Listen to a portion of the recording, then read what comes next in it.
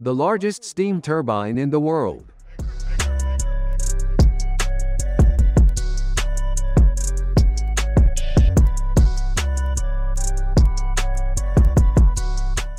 Does Arabelle know that name? It sounds like the name of a movie protagonist, a teen singer or something like that. But no, we are talking about steam turbines. The name may seem a bit delicate, but there is nothing delicate about it. After all, we are talking about nothing more and nothing less than the largest steam turbine in the world. Want to know more about her? Details and some curiosities. Stay with me until the end of this video because that's what I'm going to talk about today.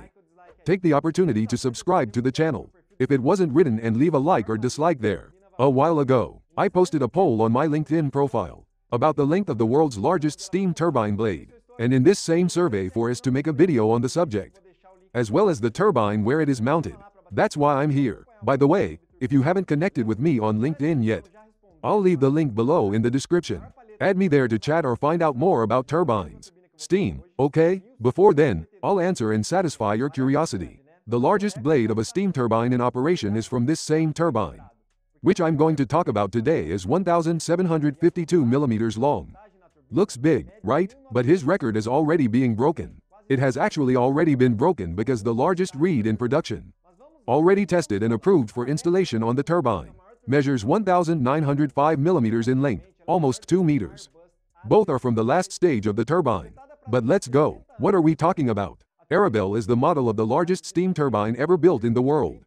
Comparatively, it is larger than an Airbus A380. Designed to last 60 years of operation, the turbine has a reliability of 99.96%. According to the engineering department of its manufacturer, GE Power. The Arabelle turbines are so big that, as I said, its blades alone in the last stage of the low-pressure module extends for almost 2 meters in length, precisely 1905 millimeters to handle the entire steam flow of the process. The rotor of this turbine is assembled and tested at the GE factory and placed in a specifically designed balancing well. For large turbines, the stage assembled with this 1905 millimeter long pallet, that is, the wheel, it is 8 meters in diameter and was tested at a rotation of 1,500 revolutions per minute.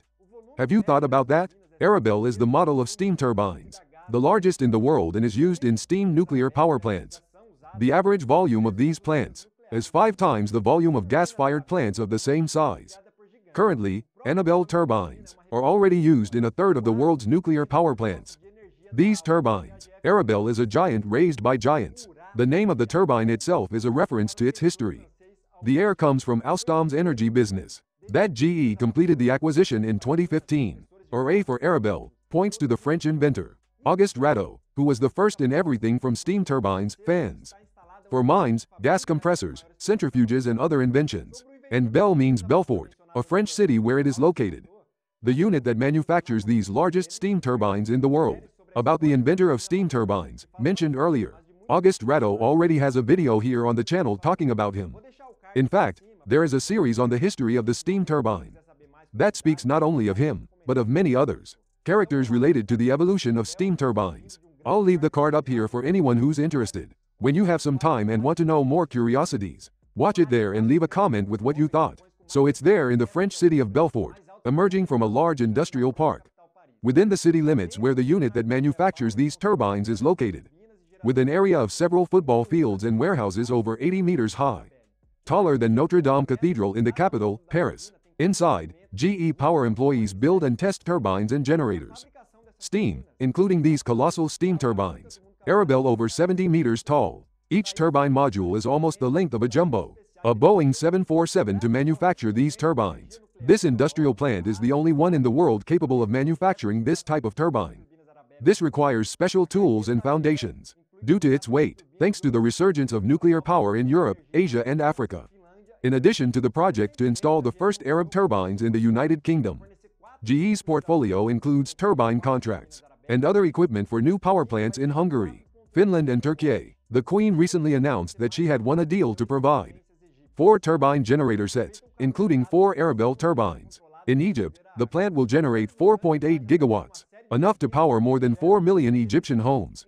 The plants use the heat generated by controlled nuclear fission to boil water. The resulting steam travels through a series of turbines that collectively generate electricity. Each of the power generation modes designed to generate contains four turbine modules and one generator. Most famous project using these giant turbines in the United Kingdom will be one of the largest nuclear power plants in Europe.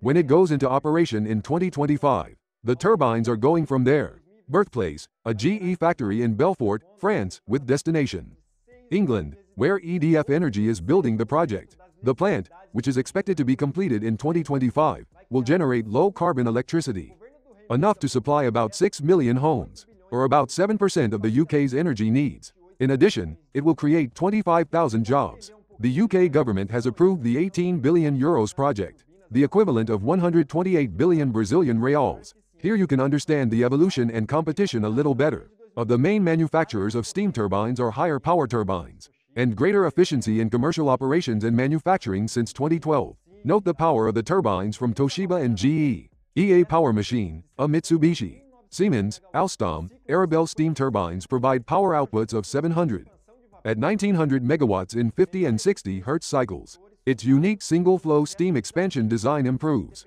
the efficiency of their engines welded into a low exhaust design. Independent pressure reduces dynamic loads on the foundation. The Arabelle turbine design results in three modes. In the first expansion of steam in a single-flow high-pressure path. In this turbine, the steam expands in a single-flow intermediate pressure section. Before passing through the 4, 6 or 8 low-pressure streams, 60% of the energy comes from highly efficient single steam flow expansion. Not at all. Each Arabelle turbine will be around 70 meters long, including the generator. Additionally, Arabelle is recognized for her high reliability rating of 99.96% in 400,000 operating hours for any back pressure condition. The total weight of this complete turbine is 1100 tons. However, she is quite quick about the effect of heated steam. At 290 degrees Celsius and under a pressure of 75 bars, Arabelle rotates at 1,500 revolutions per minute and produces an average of 1760 megawatts of electricity.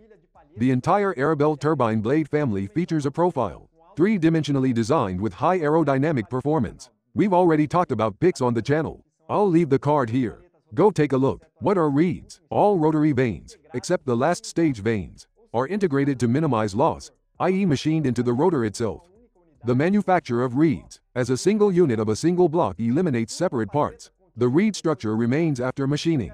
Helps ensure reliable and consistent frequency control. What do you think about that turbine? Leave it here in the comments. Take a look at those blue structures there. Those are the 16 meter high columns. In total, there are 15 columns like this that will receive more than 2,500 meters. Cubic meters of concrete that will support the largest steam turbine in the world.